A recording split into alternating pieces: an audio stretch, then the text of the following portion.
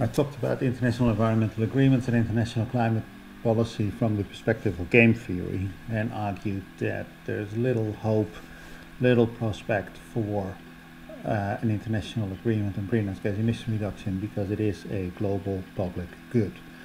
Uh, what I'm going to do now is review what actually what happened during the actual climate negotiations um, and essentially find uh, the same thing.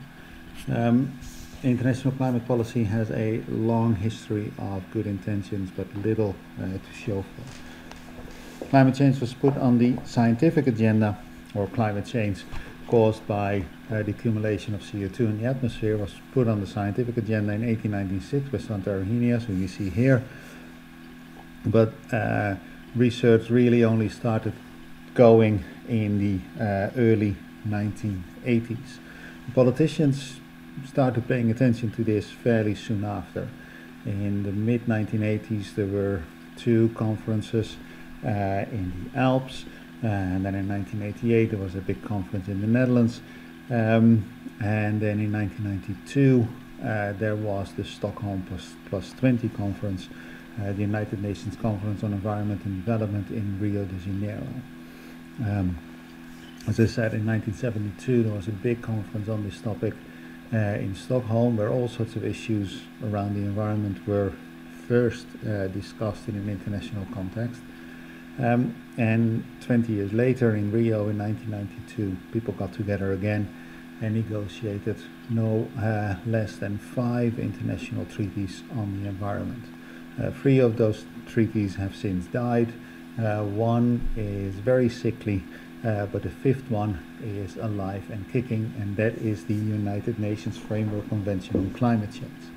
Um, the uh, UNFCCC uh, was a roaring success, as I said, negotiated in 1992, entered into force in 1995, ratified by basically every country uh, on the planet.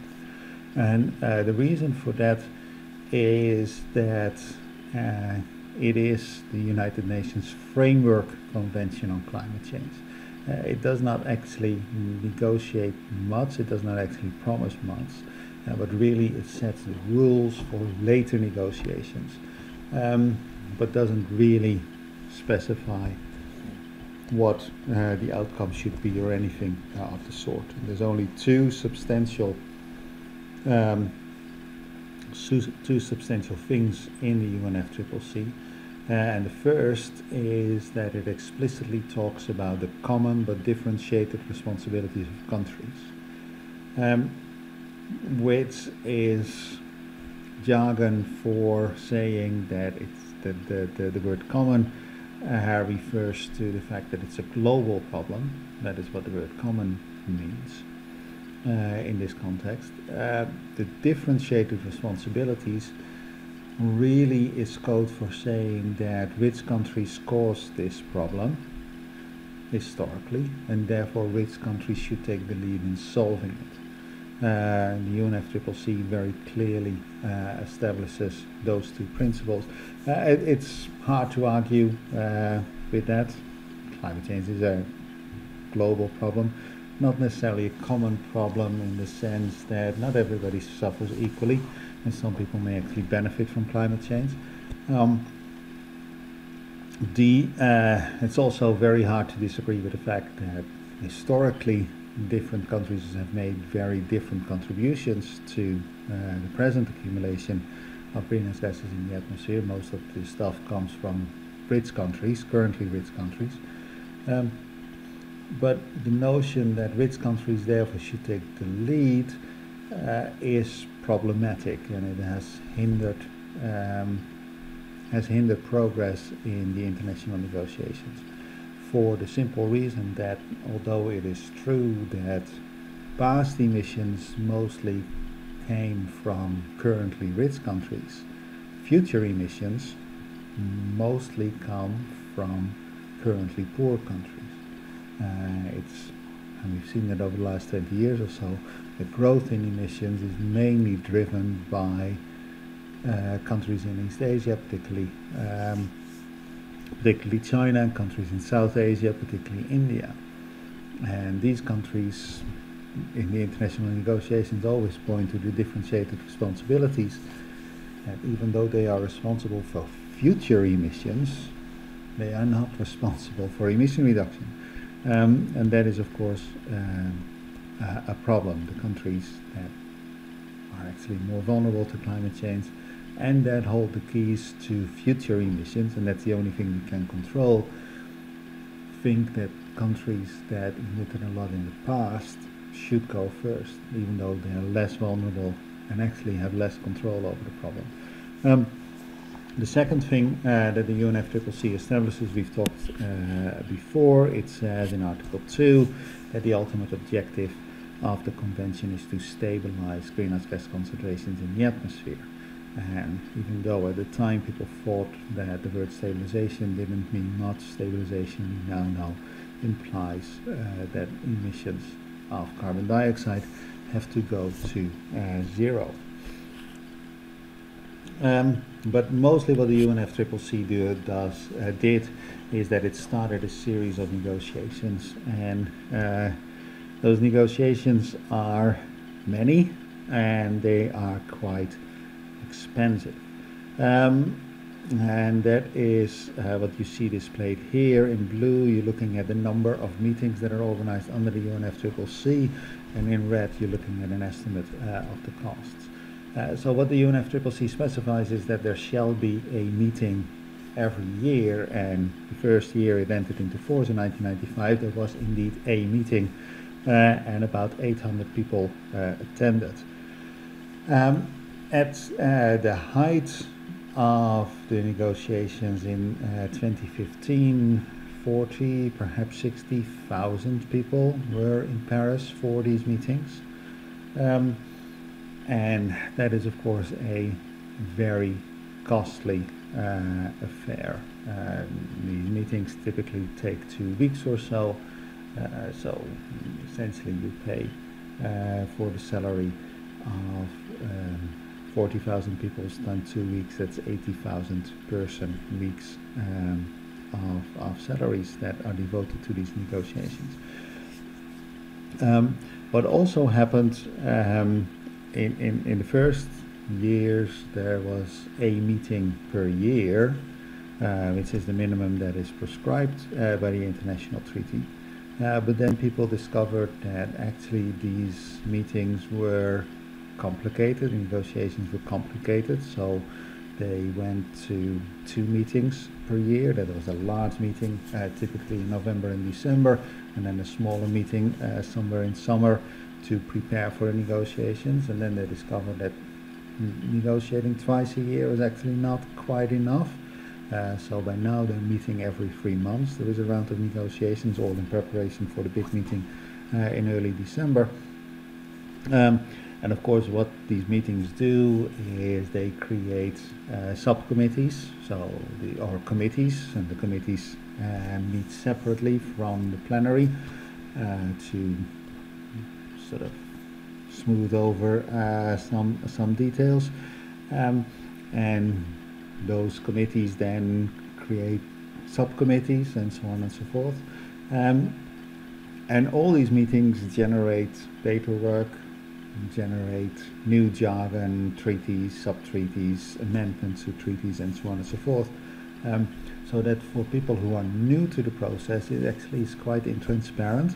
Uh, so the Secretariat of the United Nations Framework Convention on Climate Change now also organizes uh, training sessions for diplomats who are new to the process to get up to speed with what all the uh, alphabet soup uh, stands for and to talk about why is this particular position taken, which is sometimes peculiar because you don't quite understand the full history of things, uh, and so on and so forth. and as a result, in recent years, there was not one meeting a year, uh, but it was typically one or two meetings just under the United Nations Framework Convention on uh, uh, one or two meetings per week uh, on this. And it's, it's all um, fairly uh, intensive. And of course, these civil servants then need to report back uh, to the people at home uh, and so on and so forth and to prepare for these meetings. And it actually is a, almost a full-time occupation uh, for some civil servants to uh, travel to uh, these meetings. And that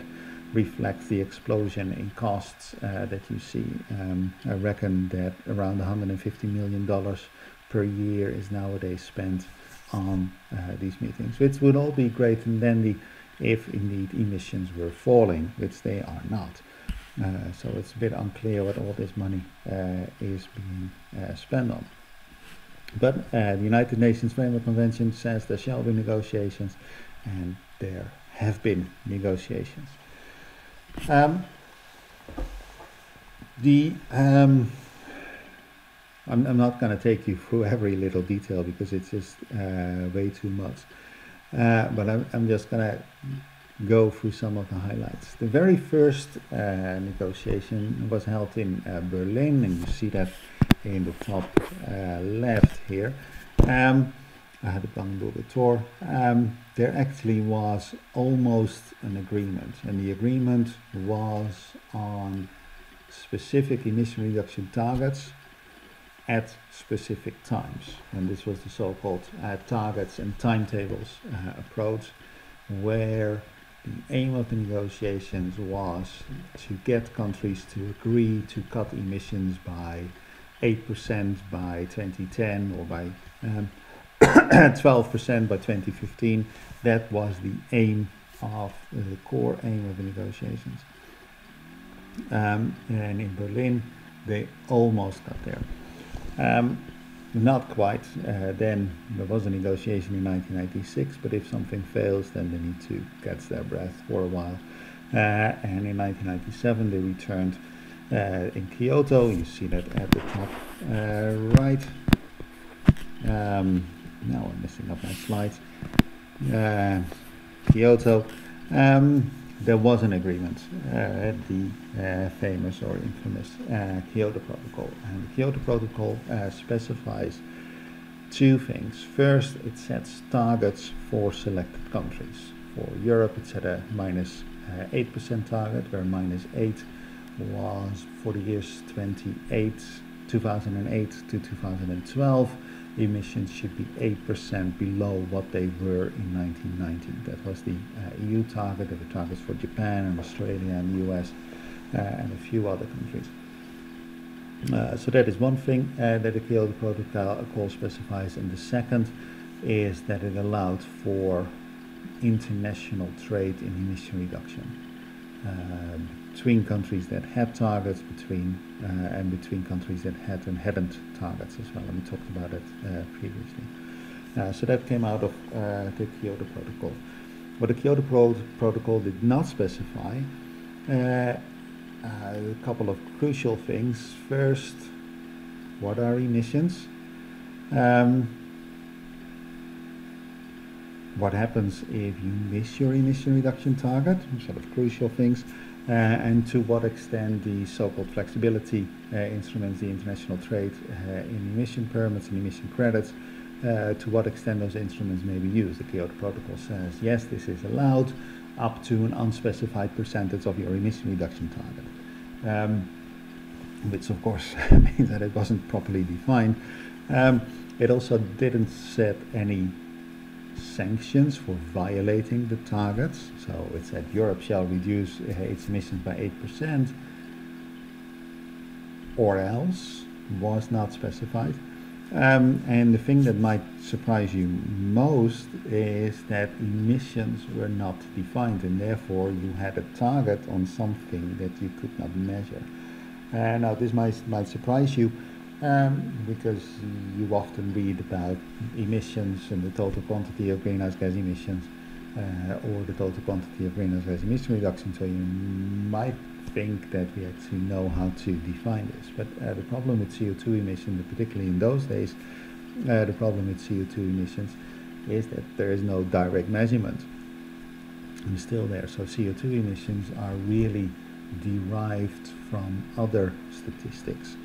Uh, for energy use, this is relatively simple. If you have a liter of petrol and you burn that fully, then you know exactly how much CO2 you have emitted because that just follows from the chemical properties of the petrol uh, you uh, put in. Um, so that is relatively straightforward, although of course there's all sorts of different qualities of uh, petrol and diesel and other fuels. Particularly for coal, there's actually a very wide variety uh, of, of types of coal, um, all with their own specific uh, emission coefficients. Um, for other things, the approximation is actually pretty crude. So we know that cows burp out methane, uh, but we measure that for the occasional cow. It's not that cows go around with uh, things that things around their necks that measure how much methane they emit. That is essentially a few cows in the in the lab, and all the rest are extrapolated from that. So this is pretty inaccurate. Uh, same goes for landfill emissions um, or emissions from paddy uh, rice. Um, and another thing that is particularly uh, uncertain is that trees grow, they suck up CO2. Uh, and you can figure that out for a particular tree uh, by measuring how big it is which is easy down at the stem, but it's actually uh, trickier to count all the branches and see how big are they really.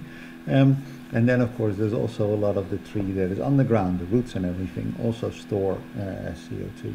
So measuring how much CO2 is stored in the biosphere uh, is difficult uh, and approximate and how much CO2 is stored underground is even harder. And for those countries that are sort of reforesting, that is Europe, uh, North America, um, this is actually a substantial sink uh, of CO2 emissions. It's actually, it's actually negative uh, CO2 emissions. And measuring exactly uh, how much that is is very difficult, and that implies that you have some sort of bureaucratic process that says, well, these are the rules, and this is how we approximate this. Uh, but agreeing on those rules is actually uh, a, a tough thing because different things um, matter to different uh, countries. So actually, at the time of Kyoto, there was no agreement on how to define CO2 emissions. So a target was specified over something that was undefined. um, that relative success of uh, the Kyoto Protocol needed to be reaffirmed later. As I said, Kyoto was largely uh, unfinished business. Um, and a year later, countries met uh, in The Hague um, and were hoping for a strong deal that the loose ends of Kyoto would be tied up uh, in a way that was particularly good for the environment. Um, that did not happen. Those negotiations in The Hague, you see it in the top left, um, you would think that this was a golden opportunity. Uh, the top negotiator for uh, the US at the time was Al Gore, who you see uh, pictured there. Um, and Al Gore at that time was running for the US presidency, and he really needed an international success in um, the climate negotiations to sort of bolster his green uh, credentials and his credentials as an international diplomat. Um, so the Americans were keen on a deal, um, but unfortunately, the Europeans couldn't agree amongst themselves. And if you read the accounts of what happened uh, during the Hague negotiations, uh, the Brits said that they wanted a deal, but the French didn't, and the French said uh, they really wanted a deal, but the Germans didn't, uh, and the Germans said that they really wanted a deal, but the English didn't. Um, and essentially, uh, Al Gore spent two weeks in The Hague waiting for the Europeans to stop fighting uh, amongst themselves, which they never did. Um, that was very unfortunate. Um, there is a wider implication of this, um, and that is that the Europeans were so embarrassed by their lack of agreement and essentially spending all this time in an international and UN forum fighting uh, amongst themselves, um, that ever since the position of the EU has been pre-negotiated, um, that essentially the countries of Europe have agreed on a common strategy for the climate negotiations, um, which is one thing, uh, but because these are democratic countries that want to be accountable and transparent, uh, it's not only that it's a pre-negotiated strategy, but it's also a pre-announced uh, strategy. And as a result, the European Union is essentially no longer at the table in international climate negotiations. Because there's no point in talking to the Europeans, because you can actually read on the internet what they're going to say. Uh, so you can talk to them, you can make small talk with them, but they're not allowed to deviate from their position. And because they cannot deviate from their position, they also cannot haggle. they have a fixed offer, and it's a fixed offer, and the only thing they can do is repeat that offer with different words, but it cannot change the offer. So it's actually no point in negotiating with the Europeans uh, on anything. Um, uh, so that is um, one unfortunate uh, outcome of uh, the shambles uh, in The Hague. The next time that the international climate negotiators met, uh, Al Gore was not president. Well, some people would say that he was duly elected president, but he, uh, the Supreme Court decided otherwise, uh, and Bush the younger uh, was uh, president. Um, the Bush administration has always uh, surprised me when it comes to climate policy. Bush the younger actually campaigned in the first campaign campaigned with a promise of carbon taxes and strong climate policy, and his father, uh, Bush the Elder, was very pro-environment uh, during the Rio negotiations. Um, but uh, it was uh, Dick Cheney who actually took over uh, this particular bit uh, of the U.S. government, um, and he is was is an oil man and wanted nothing to do uh, with climate policy. Uh, so the US position uh, for eight years was very anti-climate.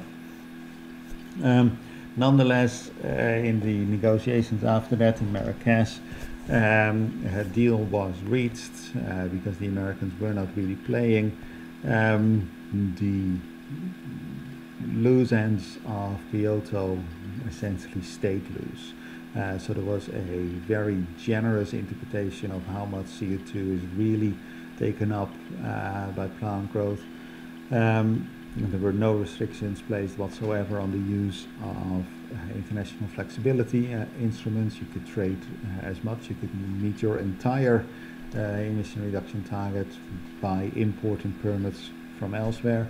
Um, and um, there was essentially also no sanction for missing your uh, target.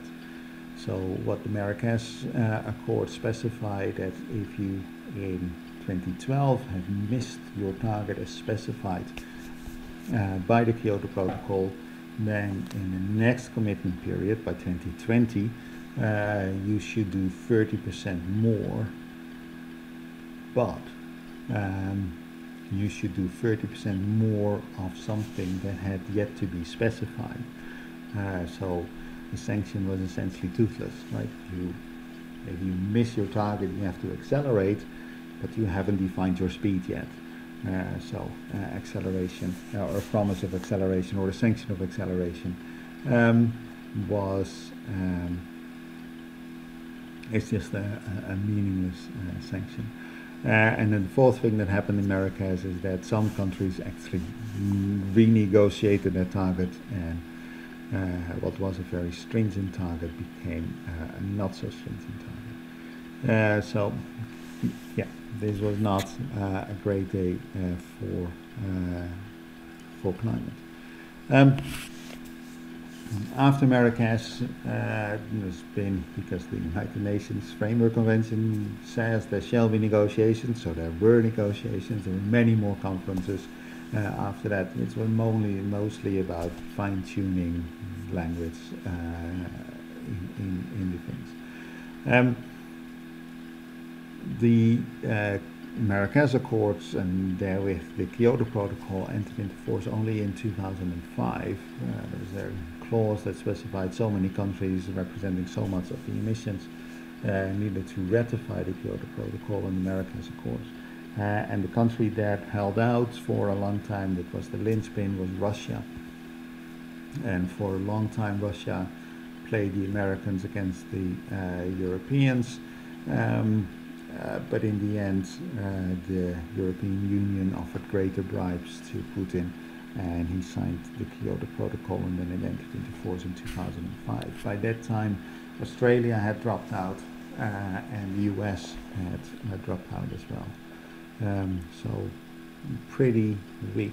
going back to uh, the game theory, and particularly the cartel formation, essentially, I mean, I mean, Scott Barrett predicted that that uh, cartels coalitions would be small or sh shallow. Uh, so small and deep or large and shallow. he was wrong there because the Kyoto Protocol is essentially small in the sense that it was essentially a treaty uh, between Europe, Japan, and New Zealand. Um, so it was small in the number uh, of participants, uh, but it was also shallow in the sense that it actually did not impose great constraints on the emissions of these countries. Uh, but that is the outcome of the first bit of climate negotiations. Um, this is by now uh, history. Um, the targets of the Kyoto Protocol were set for the years 2008 to 2012. Um, the Kyoto Protocol itself did not expire. The stuff on uh, policy instruments um, is still uh, in force. Um, people are trying to nego renegotiate this, but for the moment uh, these things are still uh, in force. The targets were set for the year 2008 to 2012. Um, people started negotiating um, started negotiating new targets uh, in uh, Bali in 2007, uh, where essentially the plan was um, the plan was to agree on new targets in uh, the year 2009. Um, and uh, they tried in 2009 uh, in Copenhagen, and that's uh, at the top. Uh, Bali is at the bottom, uh, bottom left. Um, but they failed. Uh, Copenhagen was a strange spectacle. so, in the run up to Copenhagen, there was an enormous expectation. So there was an international agreement in Bali that in 2007 that in 2009 we would agree on new targets for the year 2020. And everybody thought that this would happen. And uh, if you read the run up in the press, there was great hope that yes, they are going to do this. Uh, and what happened in Copenhagen is that basically all world leaders uh, showed up. Obama was there, uh, Merkel was there, uh, Sarkozy was there, Brown was there. Really, a great many uh, world leaders showed up, and they don't. People like that don't show up if they don't think there is a realistic chance of success, because failure is the last thing you want as a, a politician. Um, so expectations were running very high, um, and it became very clear rapidly that there was no agreement on what those targets should be. It was the basic free riding. Yes, we should do something about the problem, but after you. Um, you should take the lead, not me, uh, was essentially the sentiment um, that was in the negotiations. And at one point, uh, Obama got so fed up uh, with the spectacle of 200 countries trying to negotiate uh, that he walked out with uh, a few others Brazil, South Africa, um, India, and China. And essentially, they ran off and with the five of them uh, negotiated a deal. Uh, the problem, of course, if you do that, the Europeans were furious they were not taken seriously for the reasons that they had nothing to say anyway. Their position was fixed, uh, but they were furious that they were at least not granted the courtesy of being at the table. Table. The Argentinians were, of course, furious uh, that the Brazilians were invited, but they are not. The Nigerians were furious that the South Africans were at the table, but they are not. Um, and uh, essentially, the whole thing collapsed. Even though there was a deal between those five countries, nobody else bought it. Um, and uh, the backlash in the media, you see a small example of that here, uh, was absolutely furious. But essentially, what happened in Copenhagen is the same thing as that happened in Berlin and that happened in uh, in Kyoto, and that is that countries try to come together and set a legally binding target on providing a global public good and that is difficult and they could not agree in the end because it was in everybody's interest that somebody else would take uh, the lead. Uh, so in that sense, Copenhagen just confirmed what a basic uh, game theoretic model uh, would uh, predict. Uh, there was a meeting after that in Cancun. you also see that there, and the outcome of Cancun was we're gonna keep trying. Uh, there was agreement in Durban uh, the year after to um, try and agree uh, in 2015, and that was confirmed in Doha in 2012. So essentially, for three years, the only thing that people would agree on was to keep trying. Um, in the run-up to the 2015 um, negotiations, something changed and this was formally acknowledged in Lima in the year 2014 and you see uh, Lima displayed there and that is that the legally binding targets and timetables that people tried in Berlin and Kyoto and in Copenhagen uh, were replaced by intended nationally determined contributions which is a very ugly uh, term. Um, so what do these uh, words mean? The word contribution refers to contribution to international climate policy. Um, nationally determined means that this is not an international negotiation. This is not a target that was set by an international treaty. No, these targets or these contributions are set by national parliaments, if that is how your country works, uh, or by the president, if that is how your country works. Um, so no longer internationally binding, legally binding, no, this is nationally determined. The role is essentially Lima shifted the responsibility of target setting from the United Nations back to the nation states. Um, and the word intended means aspirational. This is no longer a hard target, but this is a soft wish.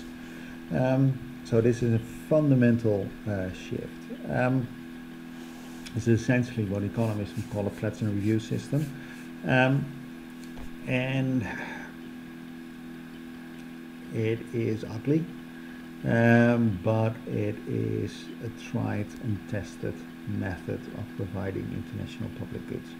Uh, so what happens if violence breaks out in a particular country and that threatens to spill over borders or that threatens to kill uh, loads of people, what do you do? Uh, you organize an international uh, jamboree where you have a series of speakers who describe the situation and say it's all going to be very bad if you don't intervene. Um, and then you go around with a begging bowl to uh, provide a peacekeeping force and Japan uh, will send money and Germany will send logistical uh, support um, and uh, the Americans will provide hardware, and the Pakistanis will send in troops, and the Nigerian will send in troops, and that is how you build up a peace force. And is it enough? Is it quick?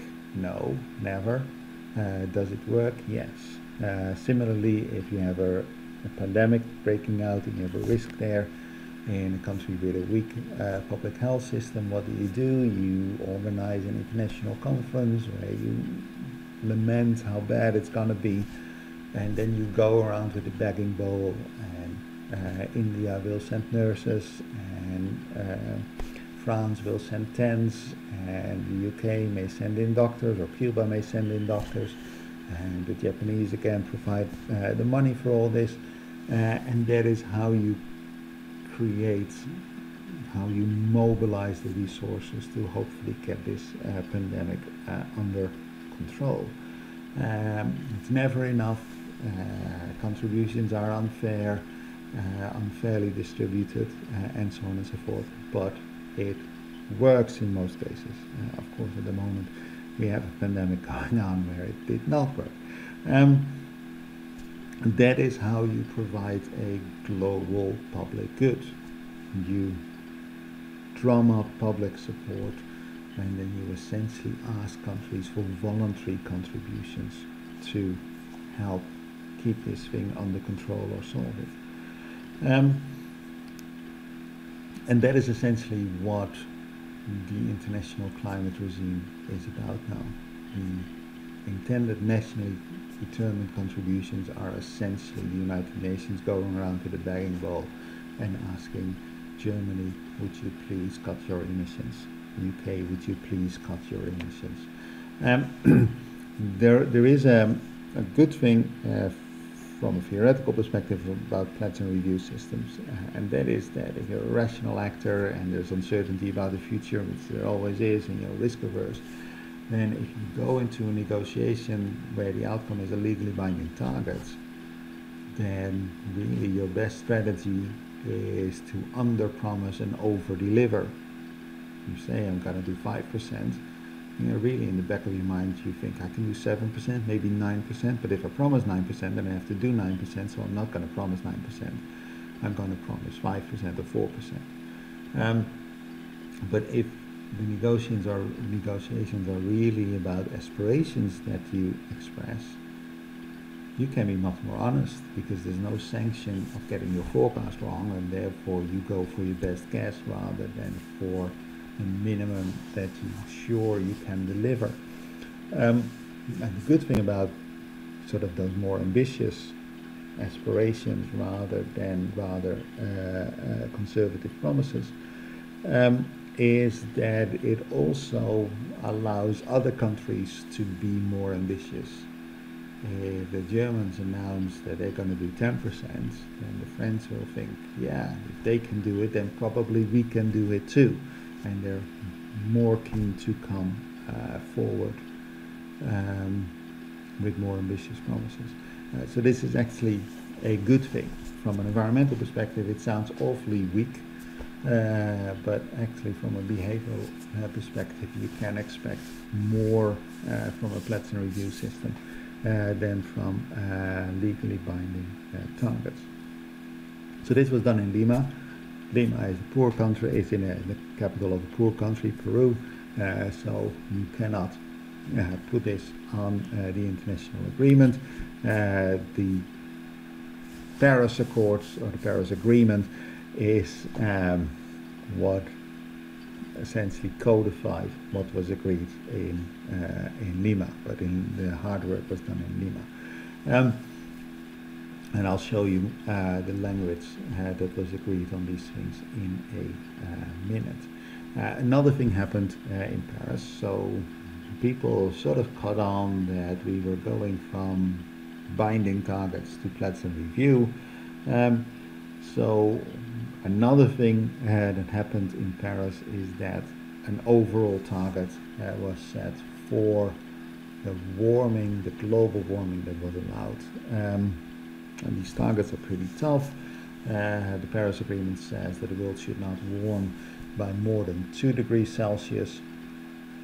uh, relative to pre-industrial, and we have already seen one degree of warming uh, since pre-industrial, um, and that was really the upper limit. The Paris Agreement says well below two degrees and aiming for one and a half uh, degrees. Um, so that is the global target.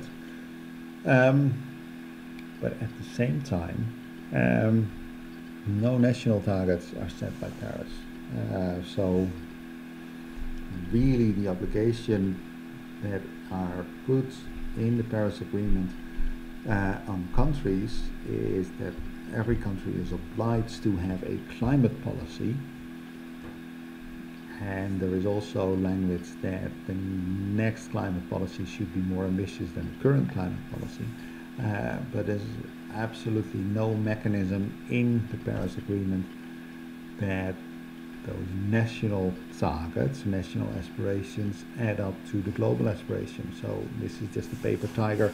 I think it was put in there to placate the Greens uh, into applauding this, uh, but it has no uh, teeth uh, whatsoever. Um, this has another uh, implication um, and that is, mm, I haven't talked about that. What happened between 1995 in Berlin uh, all the way up uh, to um, to Lima is that these international targets, these global targets, had to be agreed by everybody. This is a UN uh, context. Uh, so targets and agreements are set essentially by unanimity. There's no voting.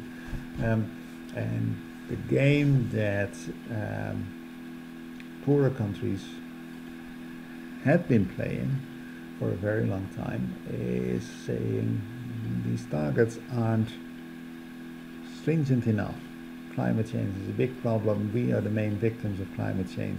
The targets that you guys are suggesting, Americans, Europeans, Japanese, they are not stringent enough. You need to do more. Um, and because the targets had to be agreed by everybody. They actually had negotiating power, and the Europeans and the Japanese and occasionally the Americans uh, were too afraid of their electorate to go back home without an agreement. Uh, so instead, what they did, rather than accept the more stringent targets suggested by countries in Africa and Latin America uh, and Asia and small island states and those sort of places, rather than agree with those proposed targets, they said, mm, we're going to give you some money if you please agree to do what we think we should be doing.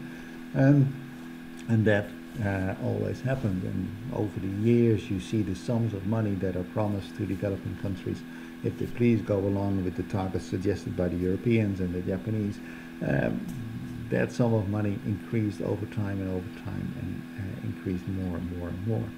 Um, but in Paris, with the intended nationally, intended nationally determined uh, contributions, poor countries lost their leverage because now countries should suggest what they wanted to do, and that was their suggestion, and poor countries no longer had the right to vote about these things. And what you saw for the very first time in the Paris negotiations is that the pledges, and their pledges rather, uh, than real monies that flowed. The pledges of additional climate-related funding uh, essentially uh, dried up or did not grow anymore. No additional funding was pledged. Um, and that is because poor countries lost their leverage. Um, so what does the uh, Paris Agreement say? In Article 4.2 it says each party shall prepare, communicate and maintain successive nationally determined contributions that it intends to achieve. Nationally determined, not legally binding by international law, not a target but an intention. Uh, parties shall pursue domestic mitigation measures with the aim of achieving the objectives of such contributions. So you should not just promise that you're going to do so, but you should actually also promise that you're going to put in place the, uh, the policy instruments. And this is the, the obligation. Every country shall have a climate policy. Uh, each party's successive nationally determined contribution will represent a progression beyond the party's then current nationally determined contribution. So the next climate plan should be more ambitious than the current one without defining ambition, right? It just says a progression. Um, a party may at any time adjust its existing contribution with a view of enhancing its level uh, of ambition. So you're allowed to ratchet it up, you're not allowed to ratchet it down. Um, the outcome, and then the question is, how does this nationally determined contribution relate to the globe? Um, what they're going to do is every often, every so often, uh, they're going to organize every five years, if I'm not mistaken. They're going to organize a global stock take, where essentially they're going to take all the national promises and add them up and see is this what we wanted collectively? Um, and we're going to do that, and then the outcome of the global stock, stock take shall inform parties in updating and enhancing, not weakening, uh, in a nationally determined manner uh, their actions. So they're going to add up all the promises, conclude that it's not enough, and then they're going to ask the countries to go back and do more. Um, but again, that's nationally determined, right? So you go around with a begging bowl and say, please reduce your emissions. And then at the end of the round, you look into your begging bowl and you see it's not enough. And then you go around with the begging bowl again and you ask everybody to please do more, right? That is the mechanism, um, which is pretty weak. Um, the Paris Agreement also has words about uh, compliance. What happens if you miss your target, um, which is also pretty weak. Uh, there will be a compliance committee. If you miss your target, uh, you're going to be called in front of this compliance committee. Uh, but this uh, committee has to act in a way uh, that is transparent, which is good, right? So we can follow what is going on, what different people are doing. It has to be non-punitive so you can miss your targets. You are called in front of the committee but the committee cannot punish you. Um, and also the committee has to act in a non-adversarial way that is they cannot ask pointed questions even they can just ask you for an explanation and you can just lie to their faces and they cannot add uh, follow up with um, with questions, right? It has to be non-adversarial. You have to just take their word uh, for it. So this is pretty pretty weak. Essentially, the obligation of the Paris Agreement is that a country shall have a climate policy. Um, and then there's also uh, Article 28.1, and then even if you don't like this, right? And there's absolutely nothing uh, that puts any obligation on you whatsoever um, in terms of emission reduction. Uh, there's reporting obligations and those sort of things, but that's it. Uh, if you still don't like it, if you want a weaker climate policy still, you can uh, withdraw from its agreement. And that's uh, exactly uh, what the Trump administration did, right? Um, they announced that uh, during uh, the election campaign, uh, this is an election promise uh, that he followed up, um, because of the time lags in when you can initiate a procedure after the, the thing entered into force and the lag and so on and so forth that it did, um, the United States will leave uh, the Paris Agreement the day after the election of uh, Joe Biden. Um, so that is where we're at. Um, game theory predicts that it's very hard to negotiate an international treaty on greenhouse gas emission reduction because it is a global public good and essentially that is what we have seen in the last 30 years of international negotiations. Nothing much. Emissions are going up. The treaty that has been negotiated, treaties that have been negotiated are pretty weak. Um, so this is a sobering message. Um, some people say, well, acid rain is an international uh, global good or uh, reduction of acidifying gases is a global public good and we've done that. Um, the hole in the ozone layer is an international global problem. We solved that. So why can't these things uh, be models? And I'll come back in the next video uh, to talk about that.